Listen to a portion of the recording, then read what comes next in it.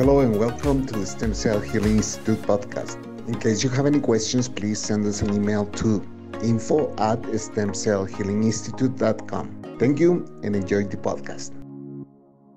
Hello and welcome to the Stem Cell Healing Institute podcast. We are here once again with Dr. Zahra Figueredo. How are you, Doctor? Very well, Luis. Thank you so much. How are you today? Um, I'm perfect, but it's a little cold today in Guatemala. Yes, sunny but a little chilly. Yes. Uh, not as cold as the United States or Canada, but uh, this is a little chill for me. Mm-hmm. Um, we do have an interesting topic today, as always, and um, this is something related to all the men out there, uh, something that we need to look into. And the topic today will be erectile dysfunction. Is that correct, Doctor? Correct. Correct. So, uh, what is er- erectile dysfunction in technical terms, Doctor? So, erectile dysfunction is when um, there's an inability to sustain an erection during intimacy or any sort of sexual activity. Um, there are various different causes of it, um, which we'll go into um, very shortly. However, in not so technical terms, it's basically an in, in uh, uh, an inability to maintain uh, and sustain an erection. So, um, what are the conditions that may cause erectile dysfunction? Mhm. There are various different causes. So there are physical causes as well, uh, physical and organic causes, as well as mental, emotional, psychological causes. So it's really important to be able to differentiate between the two. Yeah, so can you mention a, a, few conditions that may cause uh, erectile dysfunction? Yes. So let's start with the physical. The um, in regards to the physical um, aspect and perhaps the anatomy, uh, that part of the body that um, um, uh, causes or ineff- inefficiency of that part of the body to maintain an erection, that can be caused by blood vessel issues, so cardiovascular disease, uh, atherosclerotic plaques, um, circulation issues. Um, with diabetes, for instance, where blood vessels are affected, nerve damage um, from perhaps diabetes or perhaps um, a surgery gone wrong in many cases, prostate surgeries, things like that. Um, uh, and so usually it has to do with a blood uh, a blood flow problem, a nerve problem, and then on the other hand, the inorganic um, uh, causes, which can be psychological, emotional, uh, where there's relationship problems or uh, just that um, uh, that inability psychologically to have and maintain an erection due to also stress and um, and sadness or depression or medications even. So, um, So, I, I suppose you got to find out the root of the cause before you do the treatment. Is that exactly, that is really important. Uh, another aspect I forgot to mention is hormonal issues. So, a low testosterone or perhaps a high estrogen in men. Um, and yes, so it's very, very important that we do a proper screening uh, with blood work, with a good history in order to um, deduce what is the root cause of the problem and address the root cause uh, along with other other aspects of, of addressing the issue. Obesity may cause also um, this problem. Absolutely, obesity, a sedentary uh, lifestyle where um, uh, it, it affects our overall well-being. Alcohol as well, drug use. Um, I mentioned certain medications and smoking as well. Smoking can inhibit uh, blood flow to um, in in the blood vessels in general.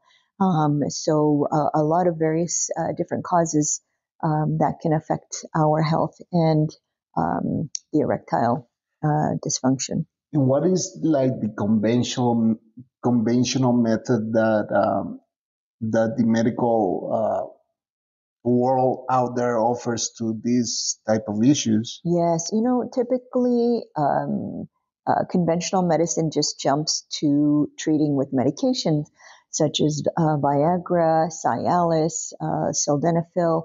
These are all medications that help with the blood flow to that part of the area, uh, part of the body. However, in many cases, it's not a blood flow or a blood uh, circulation problem. And so those address the, the blood flow However, uh, in a lot of cases, it's not uh, the problem. So again, getting down to the root cause of the problem and uh, stimulating the body to heal itself in, instead of just covering up the symptoms with the medication is is key. And why is this stem cell therapy an option to um, treat this um, condition? yes, you know, it, because stem cell therapy, again, gets to the root cause of the problem. So let's just say, for instance, we have a, uh, a patient with diabetes and they come in with erectile dysfunction. Um, the really um, important aspect to consider here in our approach is that we will address the diabetes um, in order to address the erectile dysfunction. Because if we just jump to um, the symptom and not treat the root cause, then we are not accomplishing anything. It'll be a temporary fix, and you know you have that uh, revolving door. And we don't want that. We want to address the blood sugar issue. We want to address um, the blood vessel uh, problems. So if there is, uh, if there are blood vessels and nerves that are damaged because of high blood sugar and chronic blood sugar, we want to first of all address the the cause and try to regenerate and fix the damage that's been done. So it's really important that we have this two pronged approach. So we want to address um, again the cause and then try to fix um, in uh, concurrently the problem that's been created by uh, the the degeneration that's caused. So we have to address it in in uh, in that multifactorial way in order to do the best possible job and have the best results. If it's um, a blood pressure issue, you will address that as well, right? That's right. So when we have cardiovascular disease, um, blood high blood pressure, when uh, and these you know blood vessels are involved. So in many cases we have atherosclerotic plaques. We have uh, basically um, narrowing of the arteries and blood vessels. So blood flow is impeded. Uh, uh that again uh, uh, affects the capacity of that part of the anatomy to fill and flush with the blood that causes the actual mechanistic reaction of the of the penis to have a an erection for the, because of the blood flow. And so when that is compromised due to high blood pressure um, and medications and atherosclerotic plaques, we need to address those um, uh, causes in order to fix the erectile dysfunction.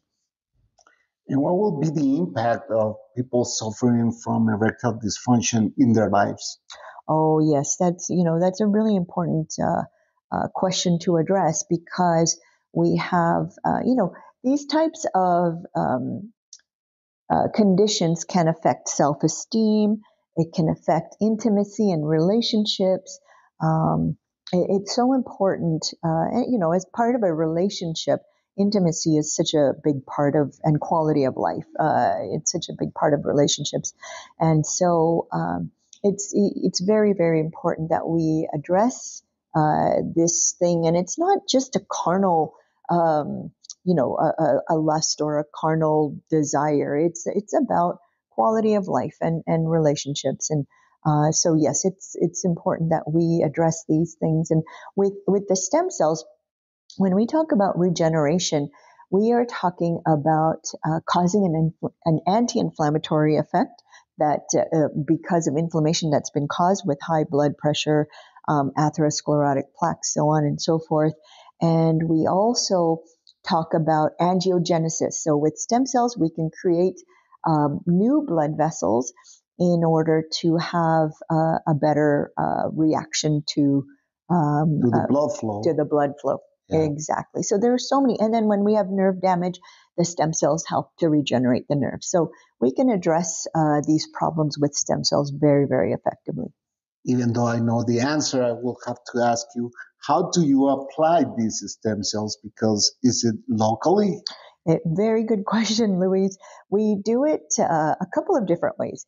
So we will apply the stem cells locally. Absolutely, we I believe in getting the stem cells with anesthesia. Absolutely, that's right.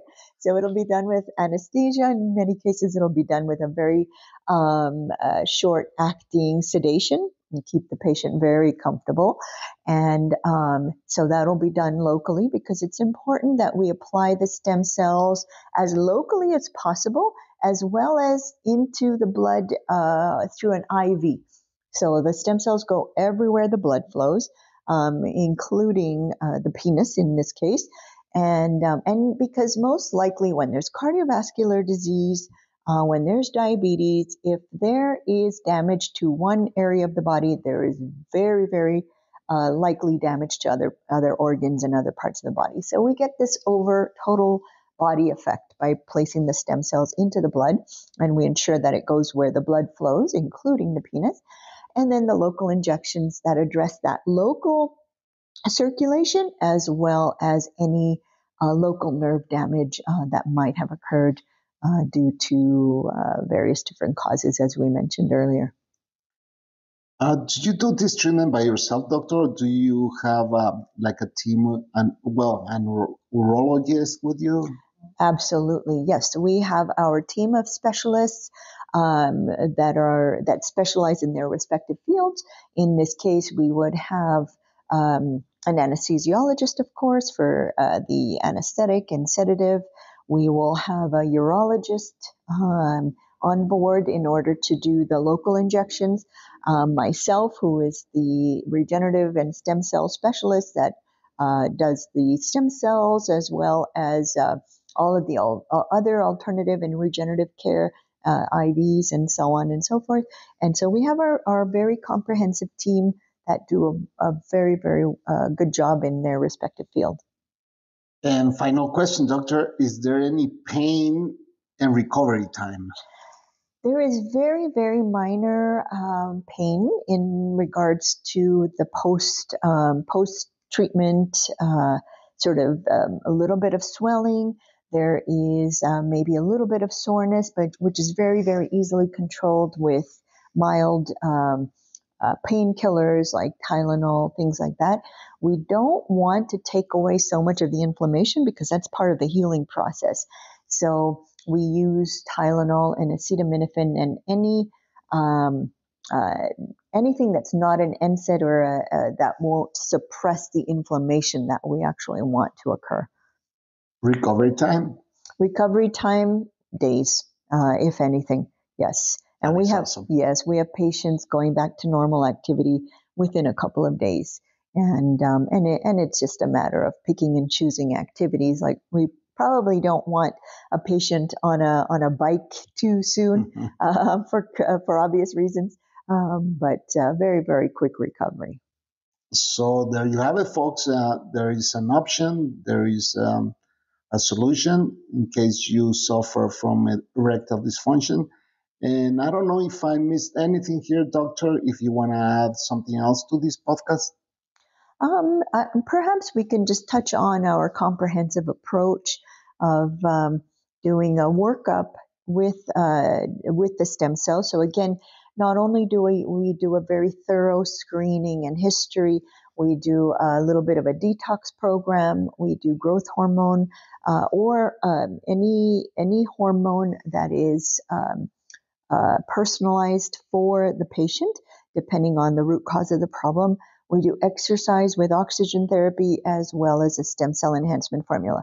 And then in every case, especially with erectile dysfunction, because there can be such a huge element, a psychological and emotional element, uh, and in every case of stem cell treatment with uh, at our clinic, we will address um, uh, these aspects, the mental, emotional, as well as spiritual aspect of well-being in order to have the best, uh, best results. So uh, that is definitely worthwhile adding uh, to before we finish. It's interesting that you mentioned the comprehensive approach because that will be the topic for our next podcast. So please don't miss it. Um, Doctor will explain uh, everything she does before the patient comes, um, everything she does during the visit of the patient uh, and all the follow-ups. So, doctor, I really appreciate your time and I wish you have a wonderful day. Thank you so much, Louise. It's always a pleasure. You have a beautiful day yourself. Thank you, doctor. Thank you for listening. In case you have any questions, please visit our website, stemcellhealinginstitute.com or you may send us an email to info at stemcellhealinginstitute.com. If you want to contact us from North America, you may dial plus 1 209 690 7836. If you want to send us a message through WhatsApp, please add us at plus 502 4220 7297. And this is how you find us on our social media on Facebook, Stem Cell Healing Institute, on Instagram, Stem Cell HI, on Spotify, Stem Cell Healing Institute, on YouTube, Stem Cell Healing Institute. We hope to hear from you. Thank you.